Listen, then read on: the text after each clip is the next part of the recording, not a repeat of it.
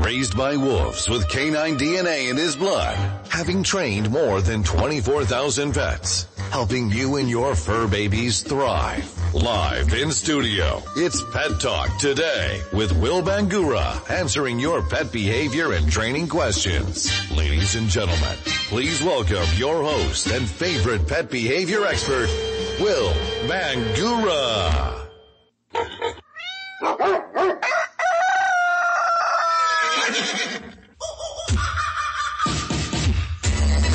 Saturday morning. It's November 27th. Thanks for tuning in and letting us be part of your Saturday morning. I'm Will Bangura and you're listening to Pet Talk today here on 1100 KFNX where we take your calls and answer your questions about your pet's behavior.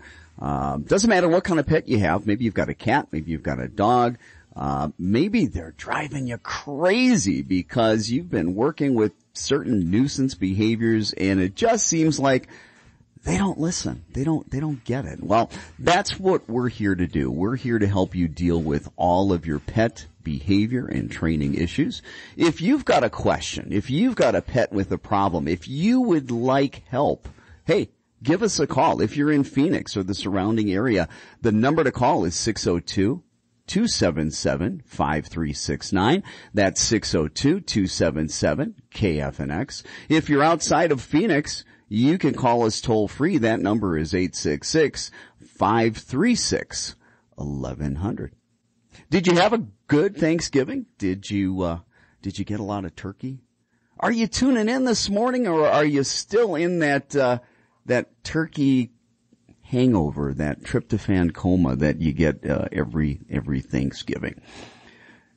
Did you watch the National Dog Show? You know, it's every Thanksgiving. Congratulations to Claire. Claire made history. Scottish Deerhound won Best in Show. Never has there been a dog that won twice. Claire has won Best in Show twice, and this happened yesterday. So yeah, big things happening around Thanksgiving when it comes uh, comes to dogs. But um, speaking of dogs, let's say good morning to the big dog next to me, Mr. Jordan Marsteller. How are you? Good morning, Will. I am fantastic. Thanks for asking. How was your Thanksgiving? You know, it was uh, it was good. I cooked everything with uh, the help of my awesome son Bryson. Ah, teaching Uh, him to cook. yeah, that's right. Getting That's that little, getting that little uh, preschool apron on there. Yeah, that's right. It's not, that's right. it's not just for watercolors and finger painting. That's right. Now it's for no. cooking. Now it's for cooking. Hey, it's you know what? I started cooking at a young age. Why not start him? You know. But it was it was good. It was good. I had I had a really nice turkey with a nice like it was a spicy sweet homemade rub that I made. It was really really good.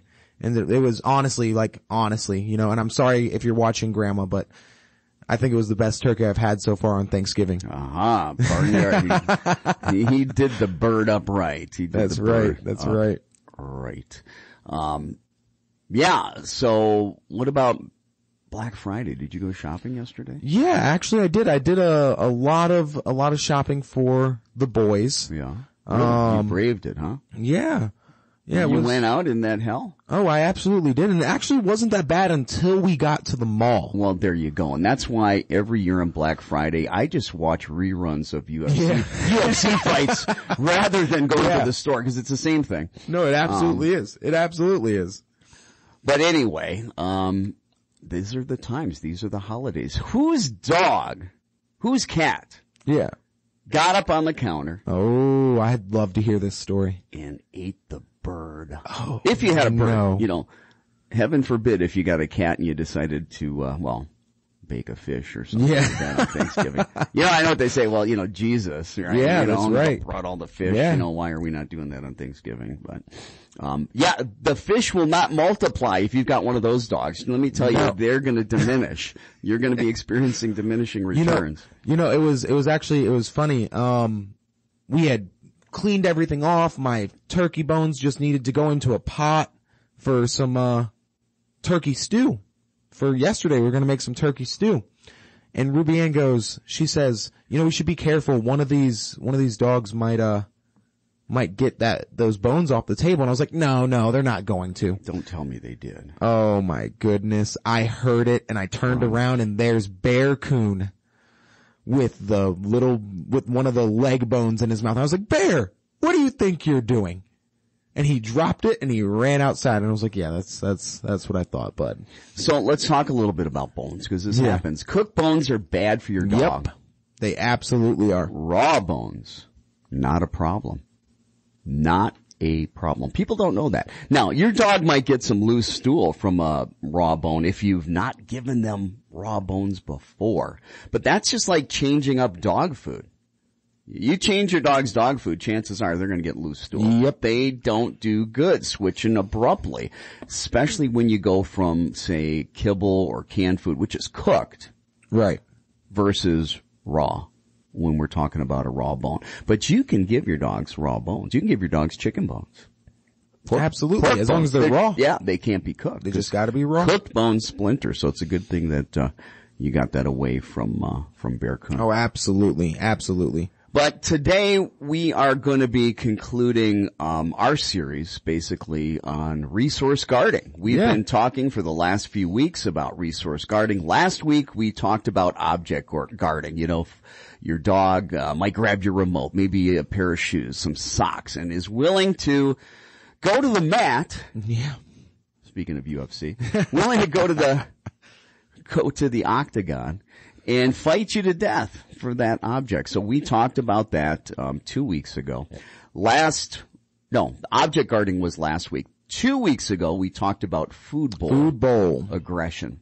Um, if you happen to miss last week's show, if you missed the week before, don't worry. If you've got a dog that has a problem with resource guarding, um, you can listen to those two missed episodes by subscribing to the Pet Talk Today podcast. You can go to any of the platforms, hosting platforms like um, Apple Podcasts, Google Podcasts, Spotify, um, Alexa. Ask Alexa.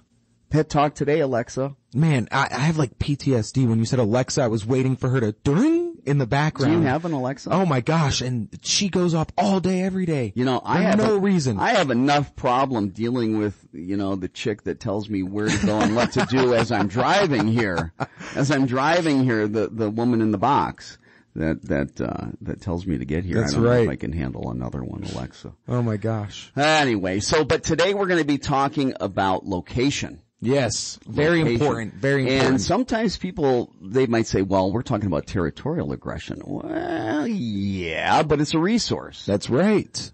Territory is a resource. Absolutely. They wouldn't be aggressive if they didn't view that as a valuable resource and that as you approach that location, it then um, threatens that resource. Now, there's a lot of different reasons. It could be comfort. You know, we may have an old dog that has um, some arthritis, some hip dysplasia, other painful conditions, and uh, being in its little comfortable spot that has value. That has value. Absolutely. But we're going to be talking about location, um, aggression, and um, then we're going to be, if we've got time, we're going to talk a little bit about um, protecting people, guarding people. Okay. A lot of the stuff that we've talked about, whether it be food bowl aggression, resource guarding, as we get into location aggression and being aggressive towards people, um, a lot of what we do is the same. So we're going to get into that. Um, but first, we're going to go ahead and take a break first so we can uh, hear from our sponsors. But when we come back, um, I think what we'll do, we've got Bridget on the line. Yeah. I, I think we'll go ahead and take a call when we come back from break. Then we'll go ahead and get into the rest of resource guarding and we can talk about location guarding and we can talk about guarding people. Don't go anywhere. We'll be right back after these messages.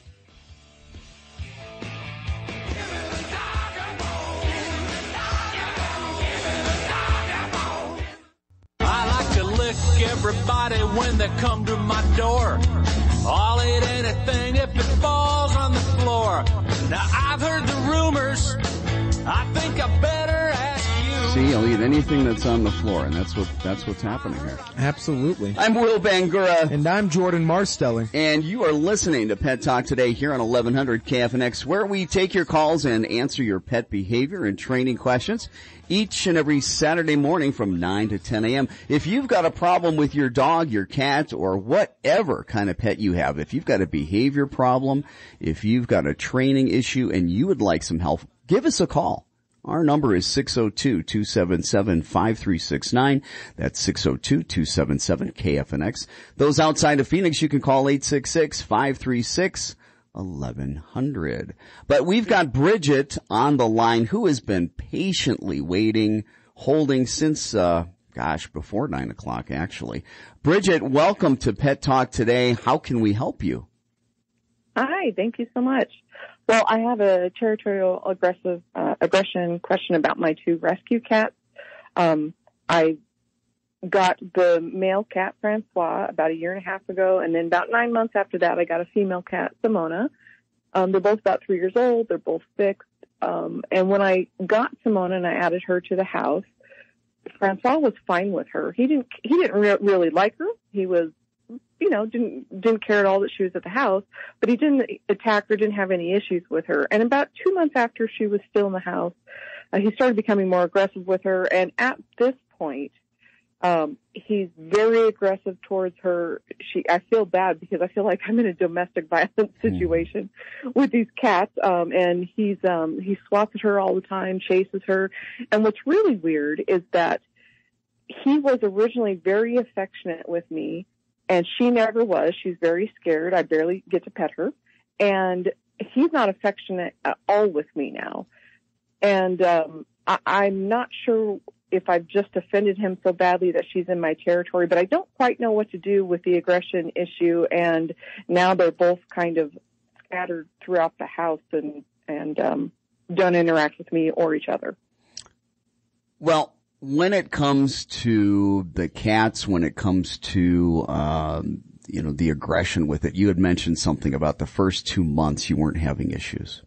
But Not at all. Then after that, that's when they began. And that's going to be typical, people. That is going to be the way it usually is. You bring a new dog, a new cat into uh, an environment. The first couple months, they're just trying to get the feel of things. They're they're getting the lay of the land. They don't know whether or not these other animals that are in the house are going to be friendly. Are they going to be aggressive? Are they going to uh, put me in my place if I if I step out a line a little bit?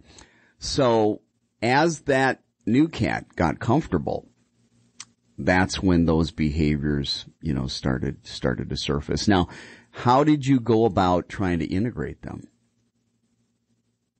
Well, I didn't do probably what I should have done. I saw later that I should have done a slow introduction mm-hmm. over many weeks. And yeah. so what I, if, and because Francois was so mellow to begin with, and Simone is very, very sweet natured mm-hmm. and gentle, when I introduced them, um, basically I just let them uh, see each other directly in person in a room, and I kept her isolated only for a couple of days with him being allowed to go in and out. And they just didn't care too much about each other. And I thought, wow, that's going really well. Mm-hmm. And because nothing changed over the first few months, I thought, okay, great. Sure. So you said it, and that was the introduction was too quick. And that's what a lot of people do that, that creates a lot of problems is these introductions need to be much slower. Now we can try to go back and do a reintroduction. Okay. Um, that might help. But before we even talk about that, um, one of the things, and I was reading a study recently, and I'm not a huge fan of the uh, pheromones the plugins, the sprays, those type of things. But according to one of the more recent research studies that I read, the feline appeasing pheromone um, has had some pretty good statistical significance apparently as it relates to cats and cat aggression. Um, do you know what I'm talking about? Feel, yeah. Feliway. Have you used any of those products? Yeah, so I don't have the diffusers because to be honest, long-term use scares me a little bit because I actually get a little bit affected by them. I get slightly lightheaded. So what I do is I will use the sprays at night when they both try to come up into my room. One, Francois will get on the bed, Simona will stay on the floor, but Francois will still chase her for a couple hours if I don't spray that. Um, and that just keeps him calm so I can fall asleep. So we already know then based on your report that it helps. And my suggestion would be that if it's better to spray versus diffuser for you, maybe, I don't know if you have bandanas on them, uh, how you're keeping that scent with them, but try to do something where we can have that scent with them where the scent is stronger and it's lasting longer throughout the day. So that's one thing. The other thing would be to begin to separate the cats, um, and then do the right process of introduction. And, and what I like to do is get a couple socks and I like to begin to integrate their scent through the use of socks first. And what I mean by that is you'll get a sock for each cat. You will take that particular sock, make it like a sock puppet. It's going to go over your hand. You're going to start petting the cat with that sock. Okay. So each cat's got their own separate sock. Now, what you're going to do is you're going to bring the other cat's sock to the opposite cat and you are going to start petting them. Okay. You're going to start petting them and intermingling those scents. So each cat separately gets the other sock of the other cat on your hand petting them and you're putting that other cat's scent on them you need to do that for daily. You need to do that daily. You need to do that for, for several weeks to be able to do that. Um, one of the things that is really beneficial is, and I don't know, some people, I say this, they think I'm crazy. Some people, yeah, I get it. A harness and a leash on the cat and high value food rewards. And when the other cat comes in, start feeding very high value food rewards when the offending cat sees the cat that is, you know, the one that's getting attacked. When that cat leaves, feeding stops, high value food rewards stop. The cat comes back into view. You start feeding again, feed, feed, feed, feed, feed. Very high value, whether, you know, if your cat's eating kibble, go to wet food. Or if you use particular treats, go and get the highest value food reward that your cat could possibly love. Now, this is something that should take about three weeks. You do this very, very slowly as far as the scent integration, then getting them together. But you need the ability to have the non-offending cat come in and you may have to coax that cat in with some high value foods also and start to counter condition and desensitize that cat because right now that non-offending cat views, hey, when I come in here, when I see this other cat, bad things happen. And we need to turn that around where that cat starts viewing the offending cat as something positive. And the way you're going to do that is again, non-offending cat sees offending cat. As soon as offending cat is seen by non-offending cat, feed, feed, feed, feed, feed, feed, feed offending cats out of view, feeding stops. And you repeat that process over and over, as well as the scent integration with the socks. Okay. After you've seen them together in that area where you're controlling the situation and you've had at least two months of not having any aggressive behavior, no provoca- no provocations, you should be in an okay place. Now, if you've done this for two months and you're getting like no improvement or just very, very little improvement, then you might want to consider going to your veterinarian. You might want to consider going to your veterinarian and talking to your veterinarian about some medication. Not something that's going to make your cat a zombie. I'm not talking about that. We got some great medications that don't sedate, don't make them sleepy, don't take away their personality, but yet it helps with aggression. But we want to try that training and behavior modification first. So Bridget, give that a shot. Try that. See if that works.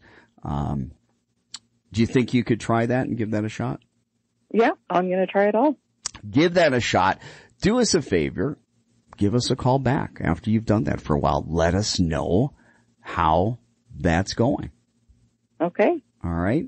All right, Bridget, All thank right. you for the call. I appreciate it. Have a wonderful holiday. If we don't hear from you uh, before Christmas, Merry Christmas to you. Thank you so much. All right, take care. Bye bye. So yeah, it's not just dogs. Right. It's any pet, any animal, um, cats especially. And I'll tell you what, um, you ever been bitten by a cat? Oh my goodness, yes. I don't think I told you the story about my demon cat that I had. Worse than getting bit by a dog. It is worse. And it's terrible. The infections, Oh my much worse. You can get much sicker from from getting bit by by a cat. Um, I'm Will Bangura. And I'm Jordan Marsteller. And you're listening to Pet Talk today here on 1100 KFNX, where we take your calls and answer your pet behavior and training questions each and every Saturday morning from 9 to 10 a.m. Do you have a crazy cat like Bridget? Do you have an out of control dog? Do you have a pet that desperately needs some training and behavior help? Are you fed up with your pet just not listening? Maybe you've got a bird that's bonkers. Maybe you've got a rabbit with bad habits. Maybe you've got a temperamental turtle. It doesn't matter what kind of pet you have. It doesn't matter what kind of problem you have with your pet. If you're fed up and you want help, that's what we're here to do. We're here to help you deal with all of your pet training and behavior issues. If you're in Phoenix or the surrounding area, the number to call if you'd like some help is 602 277-5369. That's 602-277-KFNX. Those outside of Phoenix, you can call us toll free. That number is 866-536-1100. We're going to be going in just a minute or so. We're going to be taking a break. Uh, we've got to go to news, but, um, we will be, when we come back, we'll be talking about location specific aggression. Some might call it territorial aggression. We still call that resource guarding. It's a resource, that particular location.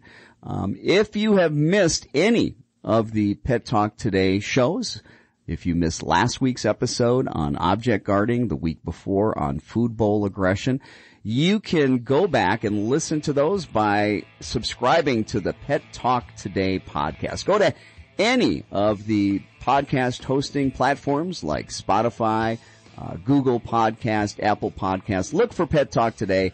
You don't have to miss anything. We've got to go to news, but when we come back, more on resource guarding. Don't go anywhere.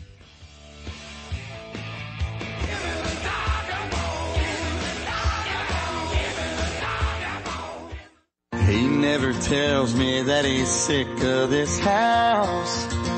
He never says, why don't you get off that couch? He don't cost me nothing when he wants to go out. I want you to love me like my dog. Welcome back, everybody. I'm Will Bangura, And I'm Jordan Marsteller. and you're listening to Pet Talk today here on 1100 KFNX, where we take your calls and answer your pet behavior and training questions each and every Saturday morning from 9 to 10 a.m. Today we're going to be talking about, uh, promise you we are, we're going to get right into it right now, location guarding or territorial aggression, um, as part of our series on resource guarding. Location is a resource, and Jordan, how do we go about um, beginning this process? Absolutely. Absolutely. Let's jump right in. So the first step, folks, you have to make a list.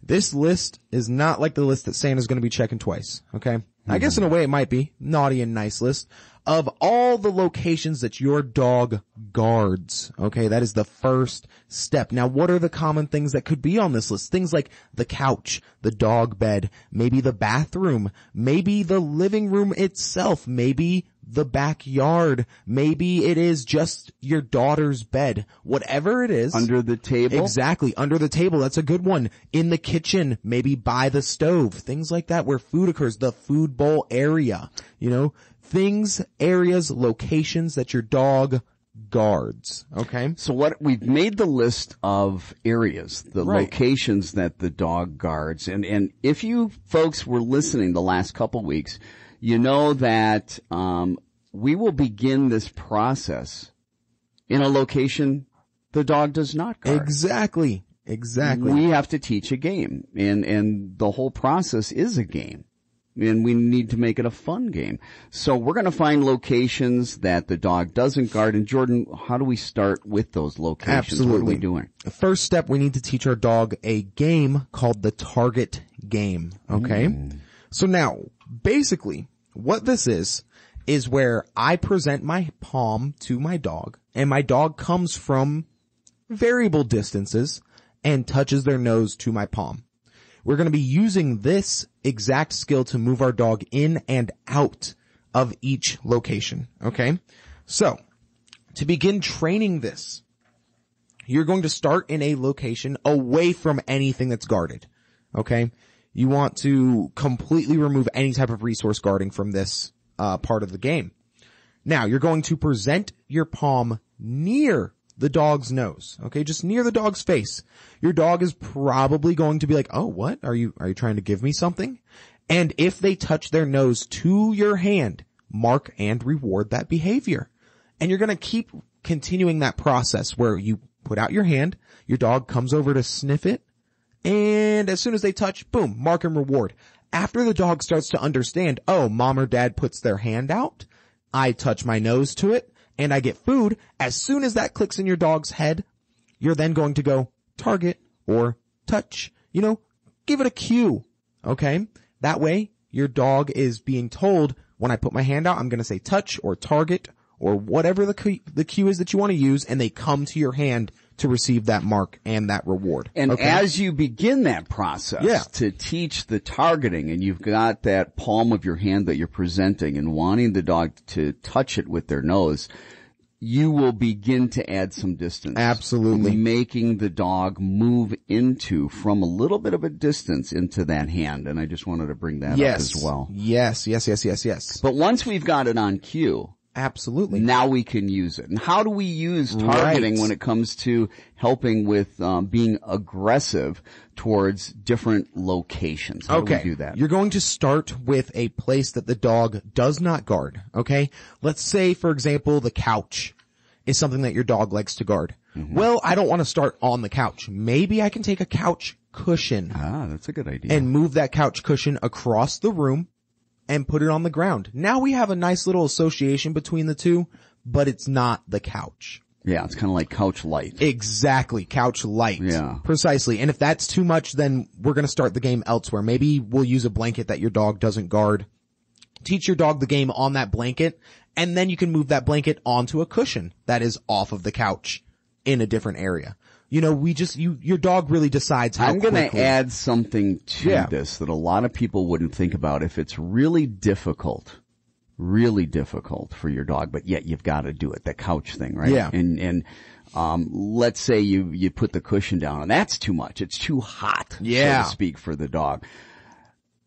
That blanket you talked Yeah. about, not just putting it down, rubbing the blanket on the couch, get picking up the Ah, scent. there we go. Of the couch. There we go. Okay, because dogs navigate the world through their nose. Absolutely. Okay, go ahead. All right. So now, once we have our location picked, that is not too hot. It's just got to be kind of cool, not cold. We're looking for the Goldilocks Yeah, rule. exactly. You know, not too hot, not right. too cold. Just right. Yeah. Just right. Okay. Now, you are then going to give your target, present your hand, and combine that with the cue up or get in, get on, whatever your cue is to go into that area. Okay. So I'm presenting my palm over the couch cushion and I'm going to say up or whatever my cue is for moving into the location. The dog moves in and touches my palm and I'm going to mark and reward. Now, when my dog targets and then also enters that location, I'm going to, this is not a high value reward, okay? This is a praise, verbal praise. Good boy, good girl. so going into Yes. the location, praise. just praise. Not mark and reward. Not a heavy reward, okay? Okay. Not a high Now, value. why- I apologize. why is that? The reason for that is because the highest value thing is to get your dog to leave the thing that they're guarding. That's what we really All right, want to so be paying targeting the the dog, dog in the location, just just praise. Exactly. Targeting the dog to come out, which is difficult. Exactly. We're going to give a really big paycheck. Precisely. Got it. That's Okay. when they get the really good stuff, the chicken or the steak. Okay. okay? Got it. That's when they're getting that. Now, as soon as your dog gets into the location, the moment that they're in there and I've said good boy, good girl, giving them praise, I will immediately give a cue off or whatever out, whatever the word is, and present my hand outside of the location. And my dog should target my hand and leave the location.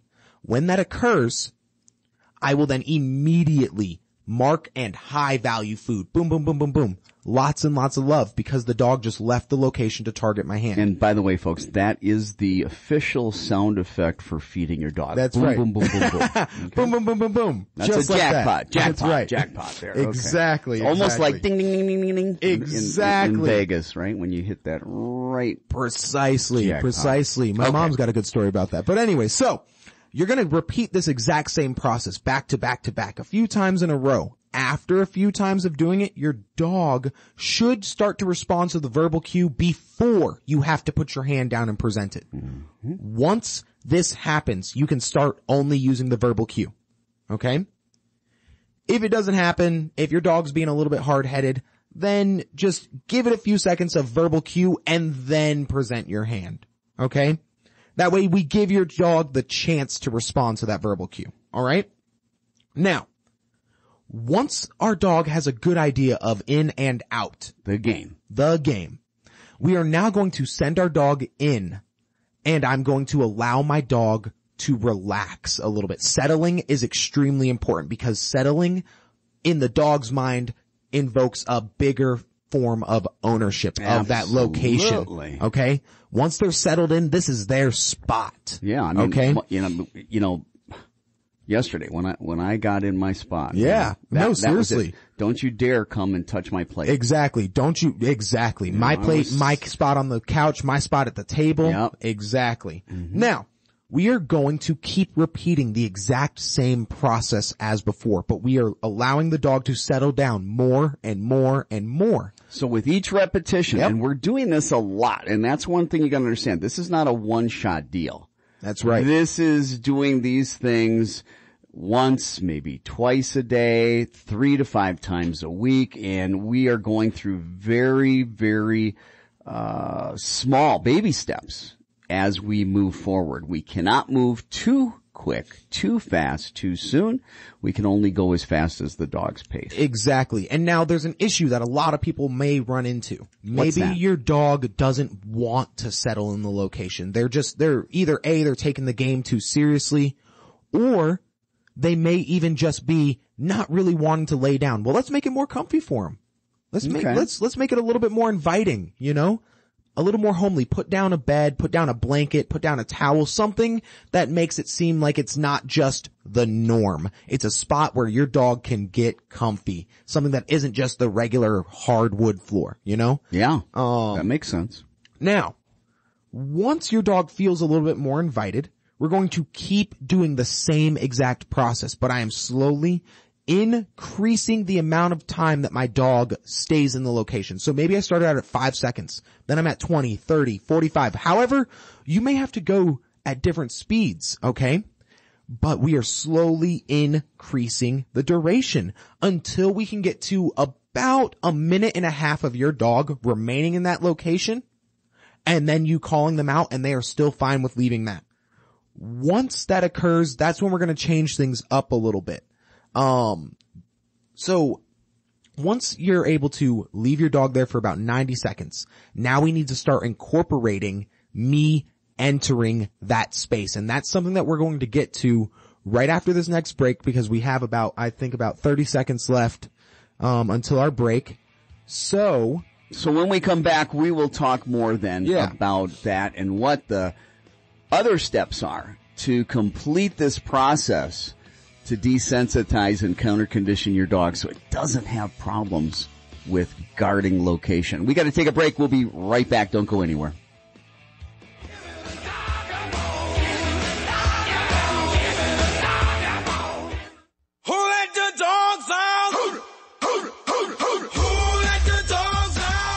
Welcome back everybody. I'm Will Bangura. and I'm Jordan Marsteller. and you are listening to Pet Talk today here on 1100 KFNX where we take your calls, answer your pet behavior and training questions each and every Saturday morning from 9 to 10 a.m. Be sure to join us next Saturday Next Saturday, we've got Terry Wallace that we've got live in studio. Terry is an animal communicator and pet psychic, and she claims that she can speak to your pet, understand your pet. She can even communicate with your pet beyond the grave. Um, Terry says she can communicate with insects and plants, so this is going to be interesting. I'm a skeptic, I'll be honest, but I'm going to keep an open mind, and we will see where things go. Anyway, before we went to the break, we were talking about location guarding, location aggression. We're going to get right back into it. Where did we leave off? Absolutely. So when we left off, we now have our dog staying on that location for approximately 90 seconds.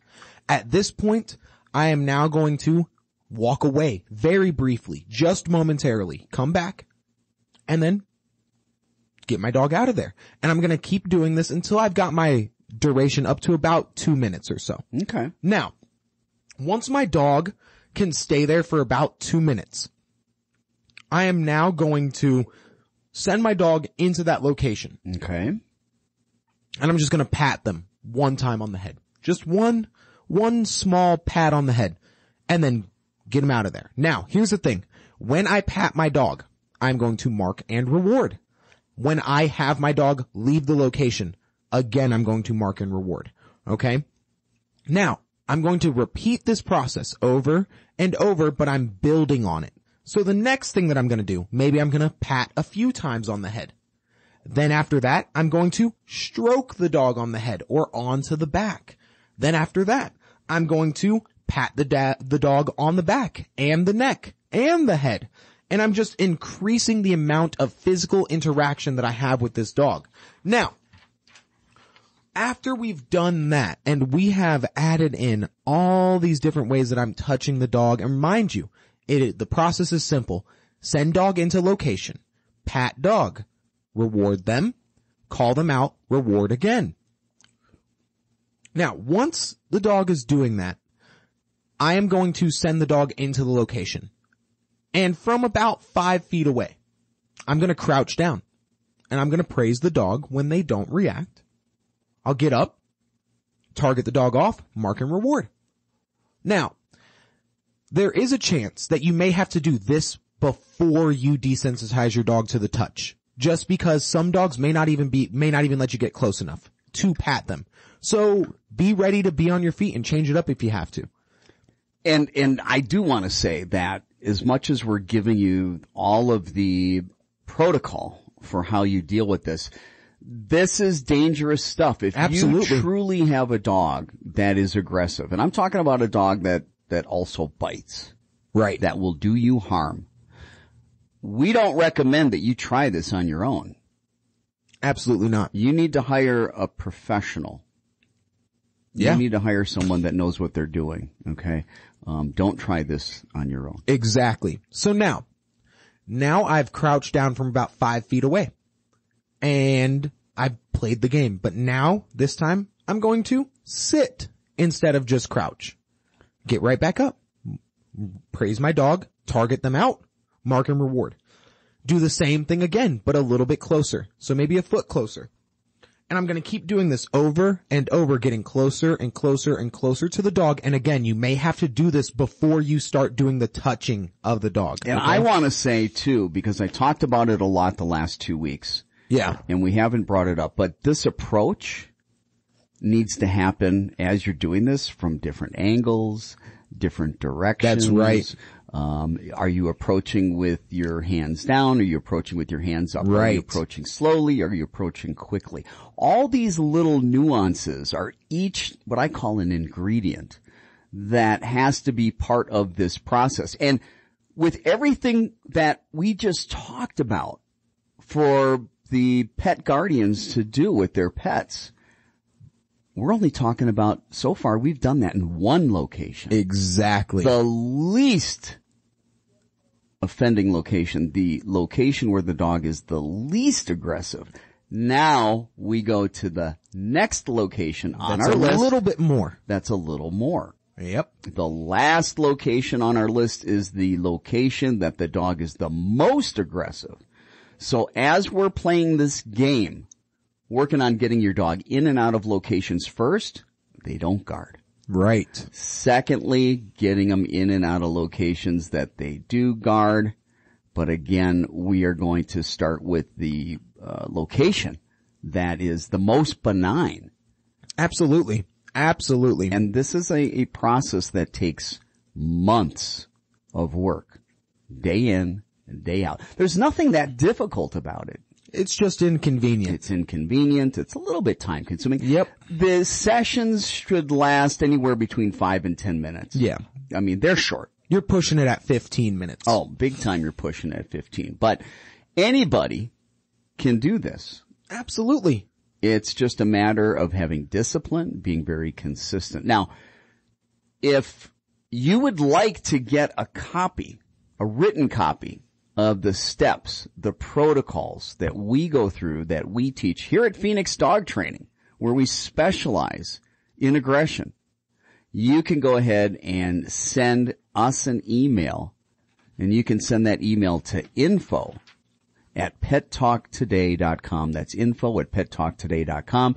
Um, we've got handouts on food bowl aggression. We can send you the protocols and steps. We can send you the handouts, the protocols and steps for object guarding and the protocols and steps for the location guarding. We can send that to you. Again, send us an email if you'd like to get that at info at pettalktoday.com. And remember, um, if you've ever missed any one of the Pet Talk Today shows, be sure to subscribe to the Pet Talk Today podcast. Go to Apple Podcasts, Google Podcasts, Spotify, ask Alexa, hey, I want to hear the Pet Talk Today podcast.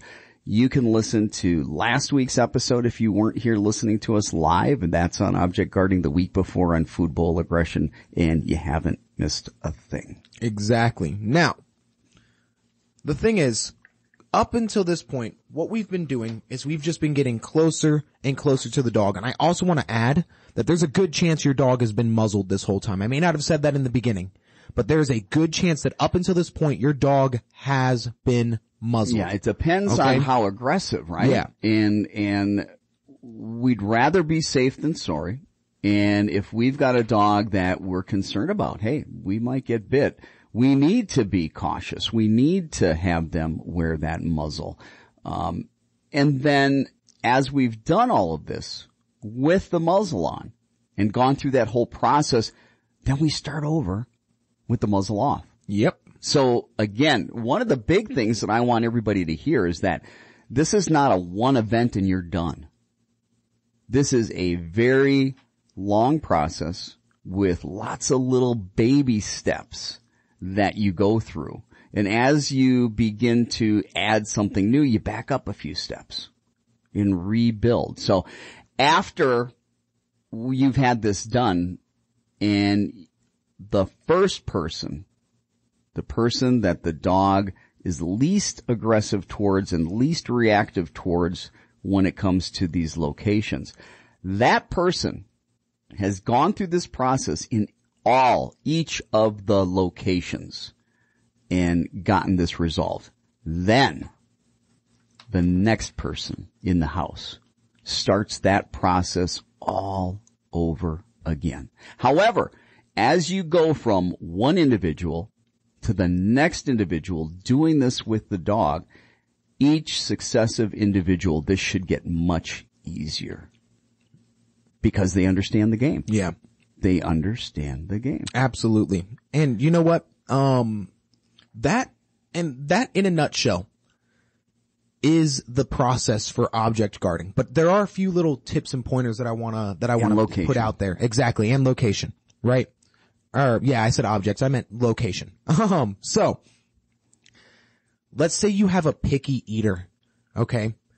I just had to have one of my clients that had to stop giving chicken as her food reward unless it was something super massive. And what they had to do was they actually had to take, the dog ate only half a cup of food a day, very small dog. They had to take a quarter of a cup of that kibble and put it into their treat pouch. And that was their main reward throughout the day for everyday menial tasks.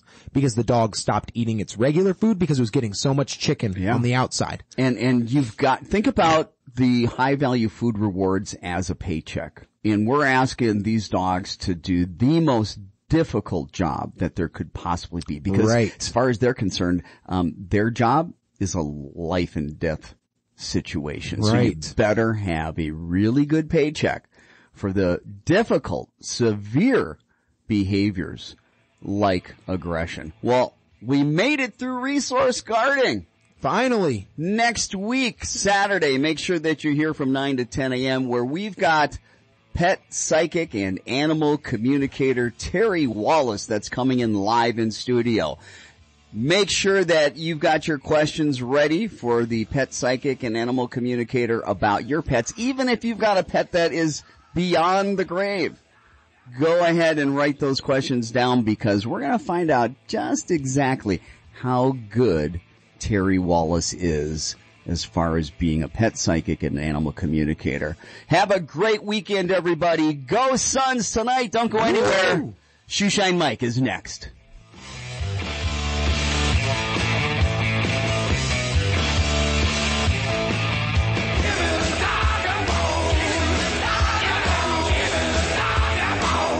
The information and opinions you hear on this radio show are those of the host, guests, and callers, and do not necessarily reflect the opinions of KFNX, its affiliates, management, or advertisers. The Pulse of Arizona, 1100 KFNX, Phoenix.